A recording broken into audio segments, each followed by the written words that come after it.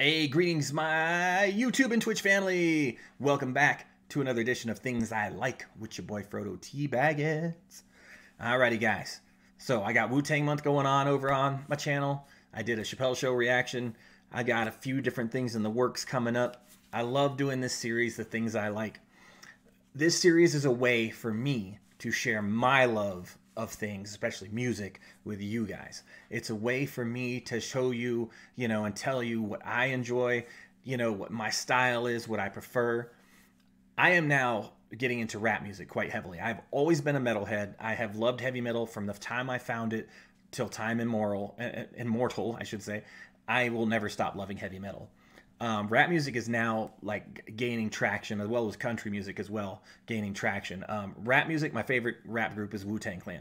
If you guys have not um, heard the wu-tang clan yet or you know haven't checked them out and you want to dabble in rap music you need to go check them out. But we are here for megadeth. Megadeth is probably my second to third favorite all-time band. Um, most people know the Big Four, and I, have recently, I not recently, but a while ago, I did um, things I like on the Big Four. The Big Four are considered the pioneers of thrash metal. You've got Megadeth, Metallica, Anthrax, and Slayer. Those guys are considered like the pioneers of heavy and thrash metal. And I think Megadeth has always been my favorite of them. At one point, I'd say Metallica and Megadeth were, were tied, you know, they were always really close with each other. But then Metallica released the Load album, and after Load, Metallica just completely fell off the map for me. I mean, they had Load, Reload, then they did like Saint Anger, and they tried to come back with Death Magnetic. Didn't work very well. It, it was not terrible, but it wasn't them. Um, Hardwired to Self Destruct, the new Metallica album, I think was decent. I think it was them trying to get back to where they were, but I don't think they'd ever achieved it. Megadeth had a few here and there. You know, they had a few different. Um, you know albums that were kind of like a little lighter than their other stuff, but still held true to what I feel Megadeth really um, really stood for. But anyway, all along long-winded aside, this is one of my favorite Megadeth songs. I think it's one of most people's favorite Megadeth songs. Most people will tell you when you ask what's the best Megadeth album of all time. I think um, people would say Rust in Peace is probably their their favorite, and I would have to agree. I mean, Rust in Peace just from front to back is a masterpiece of music. So we're going to listen to one of my favorite songs off that album, which I think is a favorite of a lot of people. And it's called The Holy Wars, The Punishment Due. You guys get ready. You are going to have your fucking face melted off here. Okay. Just in the intro alone, it it's just, it just, it's like pure energy. It just wells up and pumps you up. Let's get ready for this. I'm going to pop it up on screen and we are going to go. Things I like Megadeth, Holy Wars, The Punishment Due. I got a Megadeth poster right back there on my wall. You know, as a matter of fact, I think, yeah, it's right there next to my pops.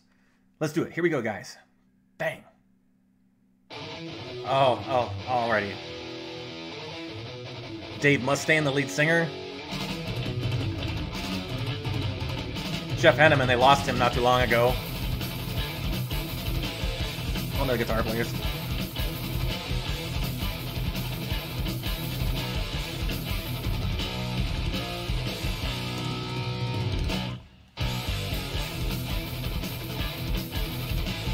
Your neck will hurt after this.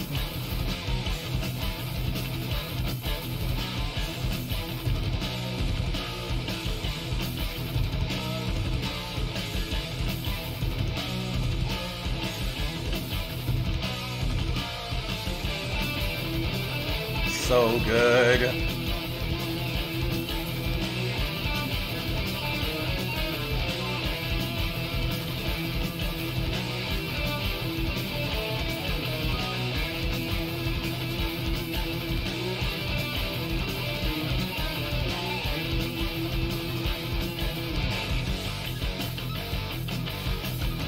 You know it, it like ugh, it, it's just like the amazing the amount of skill and talent it has to you have to have to play like that and that fast and that heavy is just astounding to me. Love it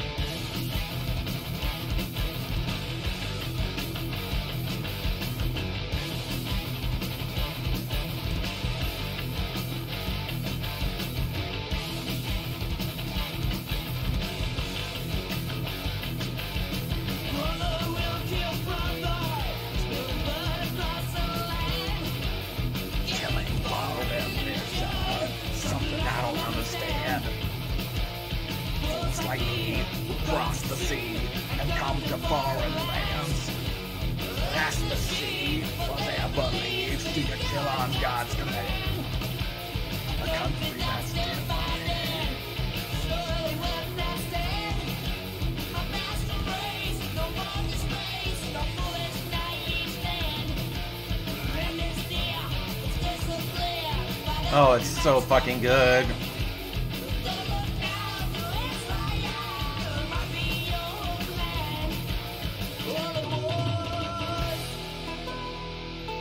You didn't expect that, did you?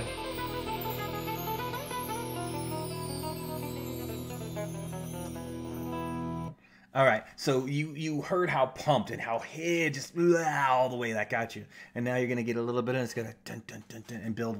Just watch, masters here, masters.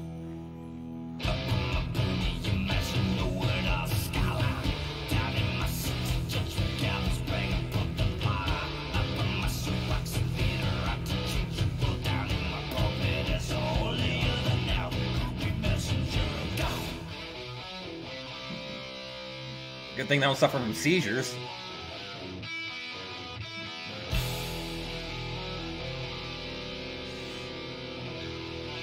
Vic Rattlehead.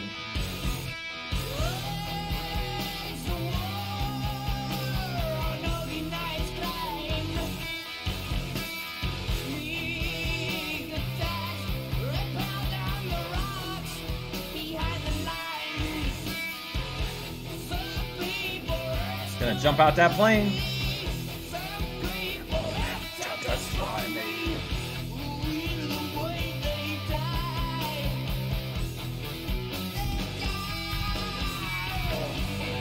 Here, listen to this. Listen to how good this is.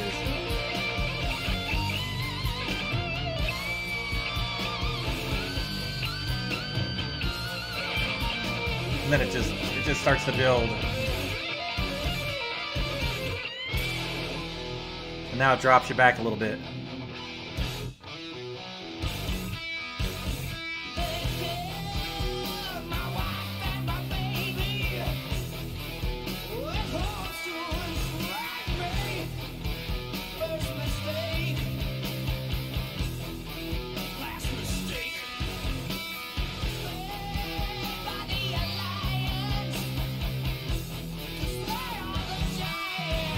Oh yeah.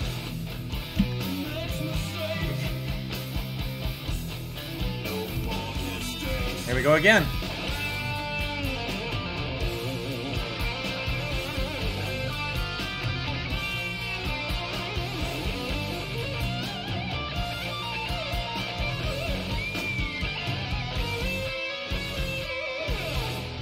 Oh yeah, here it is. Here it is.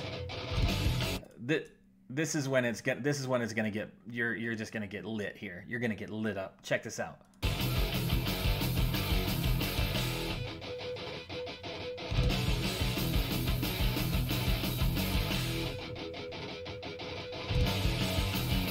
Just building, building, building, building. Start shredding it.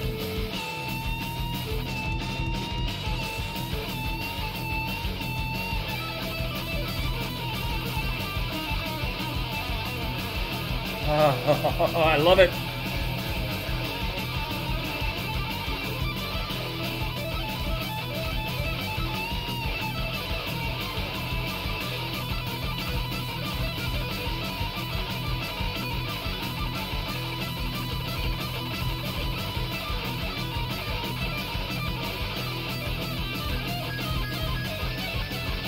Oh man. Climb in, and then it's gonna come back.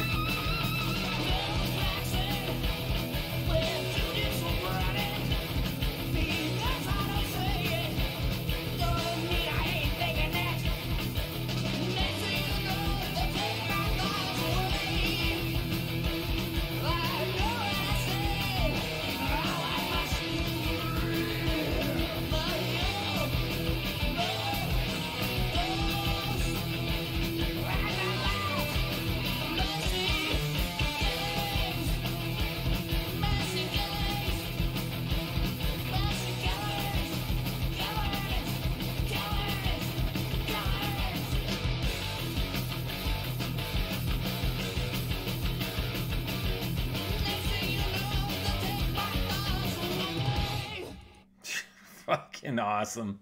You just is. you just can't go wrong. Fucking I love Megadeth. Ugh, Megadeth is just they just pump you. They just pump you up. Ugh, man. Hey guys, I really want to uh, thank you for coming here and checking out another episode of Things I Like. I'm one of my favorite bands of all time. Give Megadeth a shot. They've got a huge discography. They've got so many good songs out there. If you want something a little bit lighter, um, A Tout Le Monde is a really good song. It's a little bit lighter. You might enjoy that. Um, you guys might remember one of the UFC games on the Dreamcast. There's a song that was uh, called Crush 'em. Crush 'em is actually a really good starting point song, I think, for Megadeth. So if you want to check that out, that was on the uh, UFC game for the Dreamcast. And um, uh, Symphony of Destruction is another really good one I think you guys might like. So check some of those songs out and see what you think. But I appreciate you guys keeping it here with me. You know, I hope you enjoyed it. I'm loving it. The run is coming. It's going to keep going. I'll bring you back to things I like and let you know some more into Frodo's Mine. But until then, catch you next time.